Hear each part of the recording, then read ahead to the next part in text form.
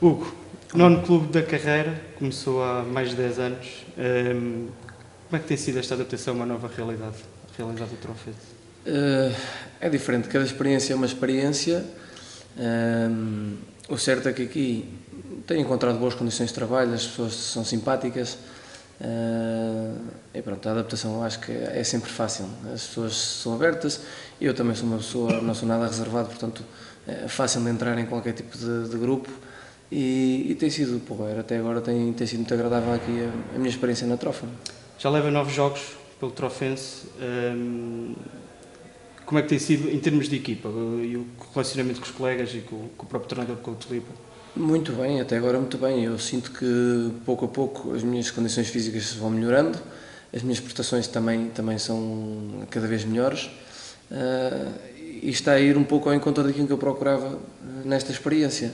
Uh, tenho ganho motivação, tenho ganho uh, está a condição física, uh, tenho divertido. Agora só falta mesmo o aspecto de, desportivo, que os resultados que, que apareçam, que nos sejam mais favoráveis, para que eu possa dizer que a experiência é de facto uh, 100%. Portanto, está a ser uma experiência de gozo pessoal, por assim dizer? Está, está, sinceramente está. Eu, eu, eu sei que eu sei e sabia de antemão que, que a situação que ia encontrar na, na trofa não era, não era a mais fácil, já o tinha acontecido em Coimbra, quando, quando optei ir para Coimbra.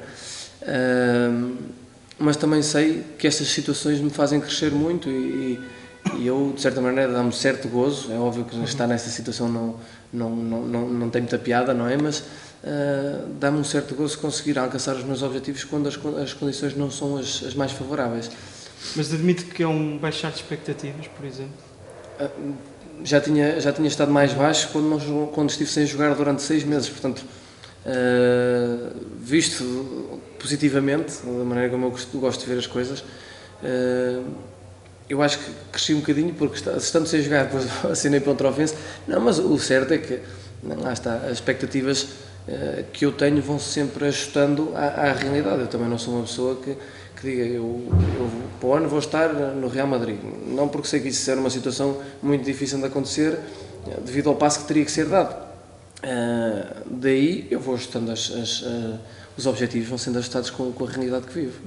Falou nesse, nesse período que teve desempregado, não é? Uhum. Pode-se dizer mesmo assim. Uh, depois de ser do Belenenses, como é que surgiu o convite do Trofense? Uh, teve alguma, algum... A influência, o Tulipa teve muita influência porque eu, eu na altura, uh, para manter a forma, comecei a treinar com o Estoril. Na altura o Tulipa estava, era treinador do Estoril uh, e pronto, eu vi a maneira como trabalha, vi a personalidade que ele tem, a maneira como, como gera o grupo. Isso agradou-me de certa maneira e na altura, quando, quando me contactou, eu um pouco por conhecê-lo, por saber como trabalha e também por procurar nesta experiência, a experiência que, que tive em Coimbra, associei ali um bocadinho a, os fatores e pareceu-me ser a, aceitável Mas situação. foi, estar tanto, tanto, tempo sem jogar, foi, foi, falta de oportunidades ou foi uma, uma opção sua até? Não foi a opção ter estado os primeiros seis meses que estive, porque eu fui, fui operado no joelho em janeiro e, portanto, o final da época no Bolonense não o pude fazer Uh, estive, nesse tempo, estive, estive parado obrigatoriamente por uma lesão que me foi uh, provocada, mas depois sim, foi, foi, acabou por ser um pouco a opção, porque eu uh, não me decidia, sinceramente, na altura que não cheguei a acordo com, com, com o Bolonenses, eu pensei que estaria em condições de aceitar qualquer tipo de proposta vinda do estrangeiro. A verdade é que as propostas foram chegando e eu nunca me consegui convencer a ir jogar por outros países, Roménia, Chipre, que é um destino que tem sido seguido por muitos, por muitos portugueses. Eu acho que nunca apareceu o convite que eu de facto gostaria de ter aceito. Uh, surgiu uma oportunidade de, dos Estados Unidos, uh, em termos sociais e, e, económicos, era uma situação uh, muito agradável, mas depois faltava o fator desportivo, que, indo para os Estados Unidos era um pouco o, o terminar da, da, carreira, não há mais progressão, era, pelo menos do meu ponto de vista, e portanto eh, pensei muito nessa situação, mas acabei por, por não me decidir. E entretanto apareceu esta situação do Trofense. Uh, falei, foi, foi também uma decisão familiar, porque teríamos que, vir para, para, o Norte, viver, e, e, com um filho de 3 anos e meio já se tem que pensar noutras coisas também. Mas o certo é que pronto, tomámos esta decisão e, e até agora estamos satisfeitos por, por tê-la tomado. Tem 28 anos, vai fazer 29 em maio. Durante este período, alguma vez pensou em, em terminar? E acabar uh, a carreira? Já algumas vezes tive, tive, com, com, com tive desgostos, muitos. Uh, infelizmente, infelizmente, as lesões uh, sempre me fazem pensar nas partes negativas que, que tem o futebol. abandonar. Eu tive, na altura, quando saí de Braga, Uh, estive também seis meses sem, sem, sem competir, uh, fiz fisioterapia com António Gaspar e nessa altura eu, eu sempre pensei, se eu não voltasse a estar bem como eu gostava, eu poderia, poderia ter essa possibilidade, porque uh, competir não estando a 100% acaba por não estar eu satisfeito, a, a crítica acaba por não ser boa e portanto não era propriamente aquilo que eu procurava. Uh, pensar sim, nunca. Aliás, até porque, pela falta que, que o futebol me faz, acho que, que, era uma decisão muito difícil para tomar, porque com 28 anos lá está, ainda não parece que tenho, tenho muito caminho a percorrer. O que é que se imaginava fazer se terminasse a carreira? Tem alguma profissão que. Não sei, sinceramente, não sei. Uh, o certo é que eu sou uma pessoa que se dedica muito à família, quando, quando tenho tempo, normalmente passo sempre com, com a família e, e, passava um pouco por aí, pela, situação familiar, mas em termos uh, de trabalho, não sei que ocupação iria ter. Não sei se gostaria de estar ligado a qualquer âmbito do futebol, uh, o caso de diretor, treinador, formação para, para treinador, não, não, sei, sinceramente não sei. Não pensei muito sobre o assunto. Durante aquele período que teve, eh, saiu do Belenenses, não renovou com o Belenenses, até, até jogar no Trofense, teve a experiência no Estoril, uh, o que é que andou a fazer mais? Eu, nessa altura, basicamente foi. Uh, uh, Desligou-se um bocado do futebol? Desliguei, desliguei. Gostava-me gostava ver uh, os jogos, lá está, a ausência com o futebol, uhum. porque eu habituado a jogar como profissional desde os 16, mas já o futebol sempre, claro. sempre foi a minha vida, não sei fazer outra coisa. E, portanto, sempre baseei os meus horários no, no futebol. De um momento para o outro, vejo-me sem esses horários. Acaba por ser um pouco complicado, mas. mas aproveitei, foi também na altura do, do verão e tudo, parecia que eram umas férias prolongadas ao fim e ao cabo, mas a situação de, depois do Estoril comecei a ter os horários de treino normais, a única ausência era de facto o jogo ao fim de semana, que aproveitava para ter um, uma vida normal uh, de um comum trabalhador que tem o fim de semana livre e pronto. Estava a dizer que não via jogos nem sequer pela televisão? Não, não, não, não. não desliguei completamente, sim. E aliás, eu não sou uma pessoa que, que seja muito de, de ver jogos.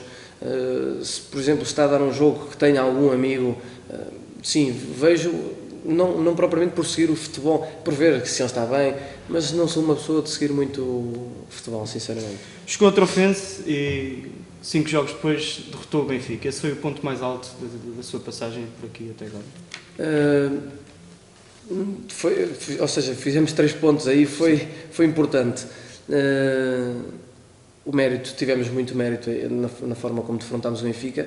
É certo que nestes jogos, quando há uma equipa pequena que joga contra uma grande e, e consegue pontos, há sempre mérito da, equipa grande e, e, e, acaba por se valorizar mais uh, essa situação do que propriamente dar valor a quem, a quem conseguiu os pontos. Uh, em todo o caso, foi, foi um momento alto que nós tivemos não, não só eu como, como profissional, mas a instituição em si, o, o Trofense nunca tinha ganho ao Benfica, foi uma festa grande, uh, mas nós não ficamos por aí porque nós precisamos de muito mais pontos, não é? Precisamos de muito mais feitos. Uh, mas foi, foi sem dúvida, se calhar o momento mais marcante até agora, ter empatado no Dragão, da maneira como, como fizemos, uh, tivemos, eles tiveram várias oportunidades para fazer gols, uh, a bola teimava a entrar e, e, e, melhor para nós, mas, mas são, são de facto momentos que marcam a história do clube. O Hugo tem um passado ligado ao Benfica, ainda lhe é especial defrontar o Benfica? É, eu julgo sim, eu, eu sempre o assumi que, que, era, que era especial defrontar o Benfica. O certo é que, claro, quanto mais jogos faço contra o Benfica, uh, mais, mais normal passa a ser a situação, porque de facto quando a primeira vez que joguei contra o Benfica, que foi com o Futebol Clube Porto, para a Supertaça, uh, aí sim, aí eu senti uh, de facto uma ansiedade grande, porque era o Benfica, um certo, um certo gosto pelo jogo, agora acaba por ser cada vez mais um, um jogo normal, sendo o Benfica uma grande equipe, e, e, com o respeito normal que nos merece sempre as, as, as equipes. Falou no empate no, no Dragão, um, a seguir à vitória sobre o Benfica. Tivemos agora o clássico. Qual das duas equipas é que acha que está mais forte? O Porto ou o Benfica? Nós apanhamos uh, os clubes de maneira diferente, ou seja, o Benfica jogou em nossa casa, o fator casa foi-nos favorável, uh, as condições do nosso estádio são diferentes do que as, aquelas que encontramos ou encontraremos no Estado da Luz, por exemplo. Um, o certo é que eu imagino que o Futebol Clube Porto, quando, quando vier jogar à trofa, terá o mesmo estilo de prestação que teve o Benfica. É difícil de fazer comparação. Se tivéssemos jogado, uh, por exemplo, fazer comparação entre o Benfica e o Sporting será mais fácil porque joguei contra as duas equipas em, casa. Uh, não sei, sinceramente, aquilo que tenho visto do campeonato. Parece-me parece o Benfica com, com, com, com, mais capacidade para poder ser campeão do que, outro, do do que outros anos. Uh, o Futebol Clube Porto mantém essa, essa capacidade, a consistência que tem sempre. Uh, isso é o que faz com que chegue sempre no final dos campeonatos à frente, porque é consistente. Mas o que, o que eu temo mais é a forma do Benfica, às vezes, uh, a irregularidade que possa ter durante o campeonato, porque de facto o Benfica faz bons jogos, grandes jogos, e depois, quando menos se espera, o Benfica tem outra opção. e portanto, aí, aí é um bocadinho diferente daquilo que eu tenho visto do Futebol do Porto. Uma vez estamos a falar do Benfica, é impossível não, não lembrar a sua saída do Benfica, que foi um passo, um passo arriscado. Uhum. Um, visto pelos adeptos, não foi um passo muito correto. Voltaria a fazer o mesmo hoje? Eu, sinceramente, sim. Voltaria. Ou seja, eu, eu se pudesse evitar a maneira como, como, como saí do Benfica, teria evitado. Voltaria a sair nessa altura, porque passei por experiências maravilhosas em, em Espanha, foi de facto uma, uma fase muito feliz da minha vida. Um, se eu pudesse evitar a maneira como, como, como rescindi com o Benfica, ou seja, o facto de ter rescindido com o Benfica, tê-lo-ia feito. Uh, agora, o certo é que a situação uh, levou-nos a, a, tomar estas decisões.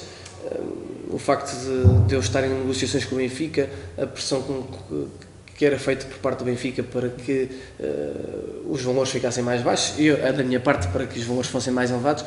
Uh, tudo isto depois houve um conflito, conflito entre, entre ambas as partes e aí foi o que, o que fez com que eu sentisse que em determinada altura não, não tinha condições para, para estar no estado da luz, até porque uh, foi, foi de tal maneira uma influência tão grande aquilo que foi dito sobre mim aos olhos das pessoas, que, que, eu já na rua, já as pessoas me criticavam, me insultavam, e eu na altura ainda representava o Benfica, portanto uh, achei que não tinha na altura condições e, e pronto, optei por, por ter ido para, para a Espanha.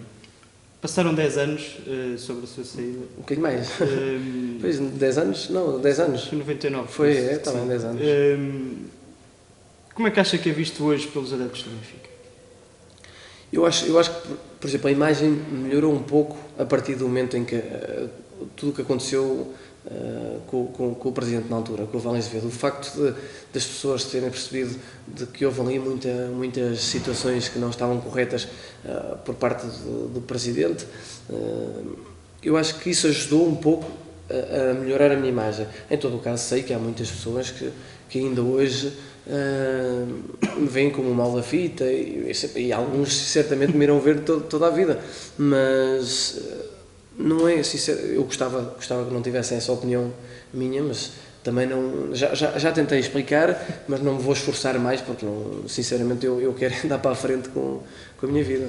Essa, hoje temos alguns jogadores jovens uh, que também que têm ambições para sair. tivemos o caso agora do Miguel Veloso com o Sporting. Tem algum conselho para lhes dar? Uma vez que já passou por isso? Na altura perguntaram-me quando, quando um, o Moutinho falou uh, que, que, gostava de sair do Sporting. Eu acho que é, é perfeitamente normal que um jogador uh, tenha vontade de outros objetivos, de representar outros clubes, uh, mesmo o fator económico ser muito mais favorável noutros, noutros clubes. isso é, essa situação é normal. É óbvio que se o puderem fazer de acordo com, com com o clube uh, e, que, e, que, seja favorável para ambas as partes, melhor. Uh, porque, ao fim e ao cabo, depois vai-lhes acontecer como aconteceu a mim. Isto, isto é um pouco cruel, mas, mas é verdade. As pessoas, o, o clubismo existe e depois não, se, não, não é só para o, quando se fala se bom. Isto é, é, eu já sou visto como uma má pessoa só por ter feito o que fiz e, ao fim e ao cabo, foi uma situação ehm, mais de trabalho do que propriamente de, de demonstração do meu carácter ou da minha personalidade. Portanto, Uh, se, se, o puderem fazer, se puderem sair, melhor para eles, porque certamente vão, vão aprender outras coisas no, noutros sítios, mas se tiverem a oportunidade de o fazerem uh, de acordo com o clube, melhor. Uhum.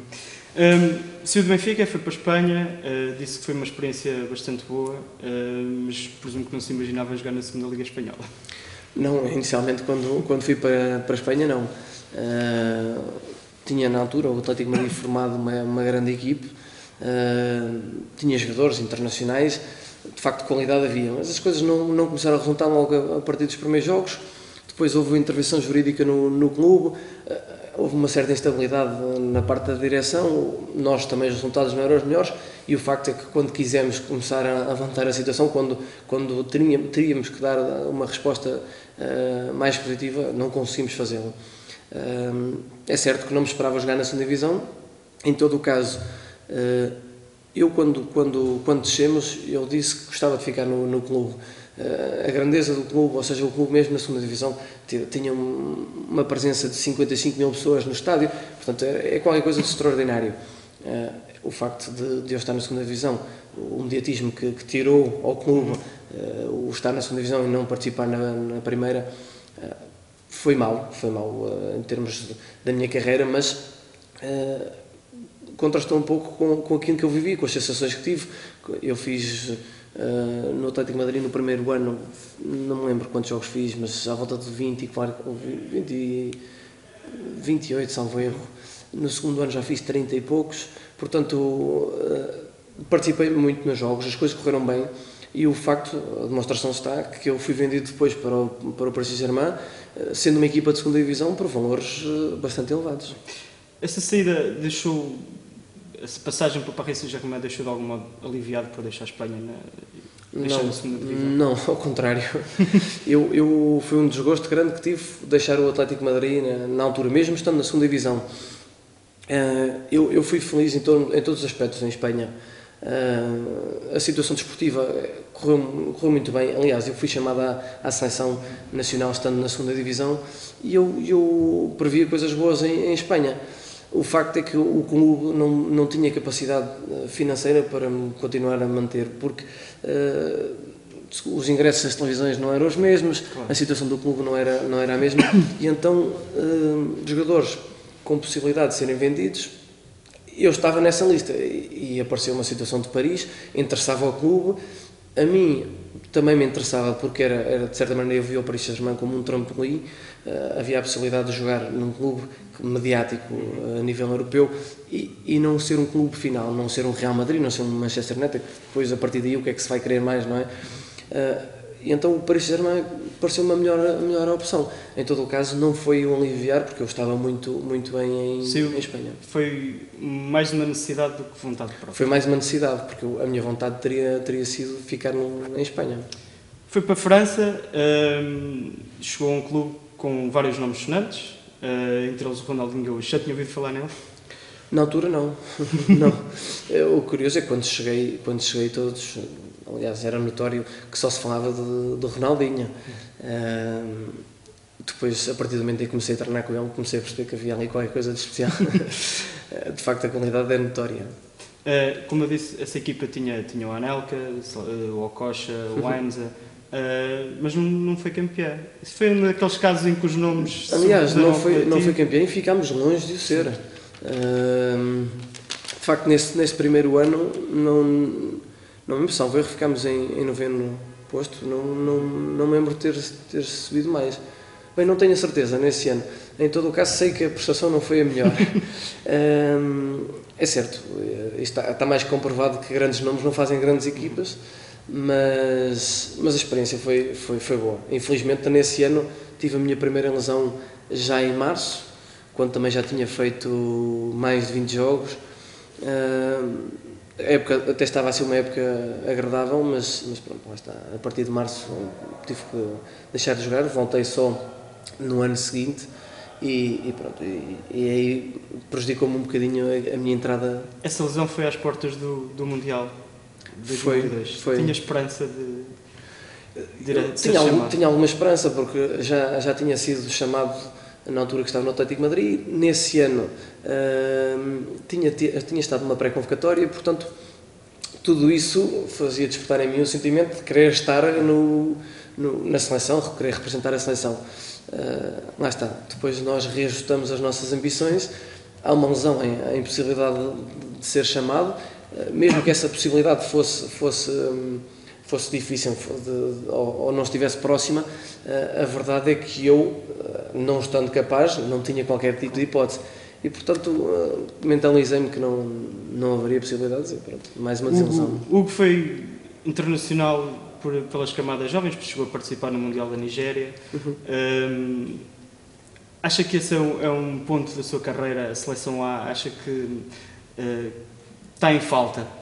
Eu fui uma vez internacional lá. Sim, sim. Uh, se eu gostava de ter sido mais, claro que sim. Eu, mas, mas pronto, foi um momento marcante na minha carreira. Uh, com 18 anos, ter sido chamado na altura foi, foi para mim uma coisa. Uh, era um sonho, era um sonho. Eu acho que é um sonho de qualquer jogador que joga uh, futebol ou outros esportes representar a sua seleção, porque acaba por ser a elite de um país. E, e, pronto, concretizei, consegui, gostava de ter representado mais vezes a seleção, mas também o certo é que pronto, a minha carreira foi, foi, foi por caminhos que, que me iam impedindo uh, ou, que, ou, que me iam, uh, ou que me iam deixando com menos possibilidades de poder representar a, a seleção. Temos um novo selecionador nacional, chamou três uh, jogadores nesta, nesta convocatória, Gonçalo Brandão, o Orlando Sá e o Eliseu. O Hugo ainda sonha representar a seleção. Ou seja, esses três jogadores fazem-me alimentar o sonho de poder Exatamente. Ser... É possível. Ou seja, um, o certo é que quando nós víamos que, que, que o Scolari tinha uma base uh, e os jogadores praticamente eram sempre os mesmos a ser convocados, o que também foi positivo para a seleção, fez, fez da seleção uma equipe. Uh, o facto de, do novo treinador uh, dar, dar a, a possibilidade a mais jogadores de representarem a seleção certamente vai, vai animar muito mais gente que, que, tem essa perspectiva de poder jogar na seleção. Agora, o certo é que eu, eu ainda não, não penso, sinceramente, na, na, na, situação da seleção, eh, porque, sinceramente, eu, eu quero ter boas prestações eh, no Trofense para ajudar a Trofense a manter a manter-se na primeira divisão e depois em termos eh, pessoais não tinha sinceramente idealizado nada uh, nada mais do que fazer os, o, máximo, o máximo número de jogos que pudesse neste ano. Portanto, não está dentro daquilo que eu tinha previsto para este ano, sinceramente. um, falou da, daquela lesão em França, foi o momento mais amargo da carreira. Foi aí que teve de, de reajustar as expectativas conforme Foi, foi, foi. Foi porque, uh, na altura, com 21 anos, tive a minha primeira lesão ao joelho, ao, ao joelho fui operado não foi só o facto da operação, a operação uh, parece-me ter, ter corrido bem, o pior foi depois, eu voltei muito cedo, em três meses e meio já estava a jogar. E, e eu acho que aí talvez nos tenhamos precipitado uh, a situação de ter forçado, o certo é que a vontade do jogador é sempre estar disponível, mas se, eu, se calhar tenho, tenho, tenho, um, tenho feito as coisas com mais calma, Uh, certamente não iria passar pelo que passei, porque eu depois uh, sentia dores em todo o sítio, era a compensação para proteger o joelho, já era a outra perna, já, e comecei a ter algumas lesões musculares uh, que me prejudicaram nessa época em concreto. Essa foi uma das lições, vá, assim dizer, que, que tirou de toda a sua carreira lá fora? É, uma das lições, mas, mas eu continuo a repeti-la. Ou seja, eu parece que não aprendi, eu passei por ela, mas, mas não aprendi, porque eu, eu muitas vezes, não estando em condições, ou, ou nas melhores condições de poder participar num jogo, continuo a querer fazê-lo e às vezes prejudicando-me. Aconteceu-me em Braga algumas vezes, sentindo que não, que não, não estava em condições, participei em alguns jogos, mas, mas eu acho que é a vontade de querer jogar, uh, o respeito também, certamente, pelos, pelos colegas sabendo que nós uh, estamos em condições ou podemos conseguir fazer aquele jogo e conseguir ajudar. Portanto, passei por essa situação, mas não aprendi a lição, parece-me. Hugo, uh, a uma determinada altura da sua carreira veio para o Futebol Clube do Porto, num ano um pouco complicado para o clube, uh, após a saída do Mourinho. Uh, esperava, nessa altura, relançar a carreira? De certa maneira, sim. Uh, vejamos, eu, eu, tinha, eu tinha passado por, por grandes clubes, Benfica, Atlético Madrid, Paris Saint-Germain, uh, mas não tinha conseguido títulos ainda.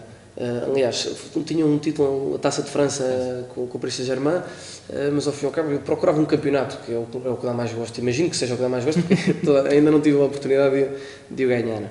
Em todo o caso, o Futebol Clube Porto tinha ganho a Liga dos Campeões, tinha, tinha a possibilidade de jogar a Supertaça Europeia, a Supertaça Nacional, uh, Intercontinental, e só nestes três jogos tinha a possibilidade de ganhar três títulos.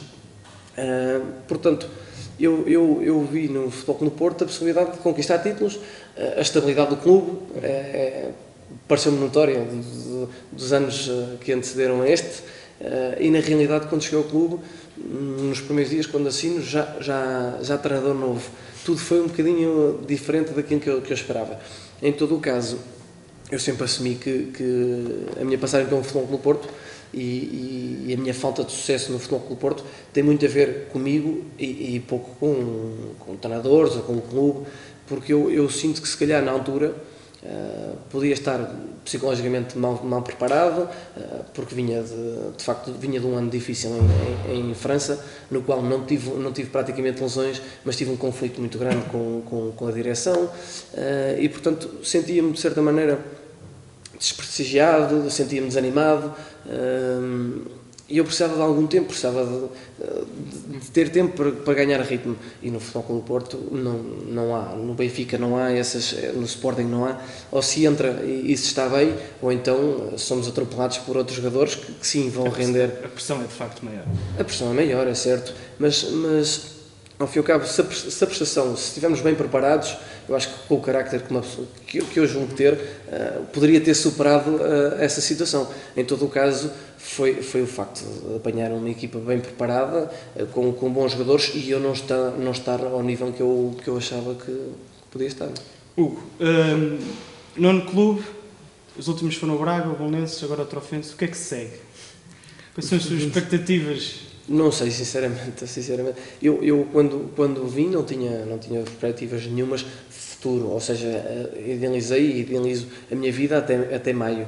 Eh, a partir daí, muito sinceramente, não sei, eh, depende de, da maneira como correr a época. Eu, é certo que, eu, que as coisas me têm corrido bem, que estou animado, que estou feliz pela, pela, pela aposta que fiz. Mas, mas, sinceramente não, não consigo prever o que é que vou fazer depois de maio uh, por não saber exatamente como é que, que, que perspectivas é que também uh, posso criar noutras pessoas ou noutros clubes. Portanto, não sei, eu estou um pouco à espera de ver o que é que o impacto que possa ter a minha época. O... Pela nossa conversa, o Hugo parece-me que está bastante ciente das suas capacidades ainda, um, rebaixar das expectativas, mas ainda ambiciona chegar a um grande outra vez? Uh, eu, eu sim, eu, eu ambiciono chegar a um grande. Uh, Acha que certo, tem condições para isso? Eu acho que tem condições para isso. Sinceramente, o que me faltou nos últimos, nos últimos tempos foi, foi de facto o aspecto físico, porque não podendo contribuir constantemente para uma equipa não ajuda que as prestações sejam boas. Eu lembro-me que no, no Belenenses as coisas não me correram mal, eu estava, até joguei bem, joguei pouco. A mesma história repete-se em, em Braga. Os jogos que fiz, as coisas correram bem, as prestações eram boas, mas fui inconstante, ou seja, as lesões não permitiram estar mais, mais vezes disponível. E eu acho que o facto de estar mais vezes disponível uh, faz com que eu possa chegar a níveis superiores. Se me pergunta se eu tenho capacidade, se eu acho que tenho capacidade para jogar num grande, eu acho que sim. Se, se, me perguntar se eu acho que ainda vou voltar a jogar num, num grande em Portugal, já duvido. já duvido. Por, eu, eu respondi isto há, pouco tempo numa entrevista que dei, pelo facto de achar que, que a forma como já me catalogaram em Portugal, de jogador acabado, de jogador velho, uh, ir uh, prejudicar a aposta que possa ser feita por, por, parte de um diretor de um clube ou, ou da direção do clube em me contratar. É muito, eu acho que será muito mais fácil trazer um jogador do estrangeiro, uh, onde não se tem que justificar a ninguém nada. É um jogador que calhar, às vezes as pessoas não conhecem, mas que não se tem que dar a cara por, por esse jogador e outra coisa é levar-me a mim, que logo desde o primeiro dia imagino que deve ser, mas se for não trazer esse jogador que já está acabado, pronto, lá está, lá está. A forma como me catalogaram parece que me prejudica neste, neste fator. Agora, se tem capacidade, eu julgo que sim. Ok. Hugo, muito obrigado, obrigado pelo eu. tempo, foi, foi muito bom. Eh, obrigado, eu. Variámos muito nas perguntas e acabei por fazer um resumo da, da minha exatamente. carreira. A intenção também era um bocado essa. Uh, falar sobre isso. Ok, mas agradeço. Um,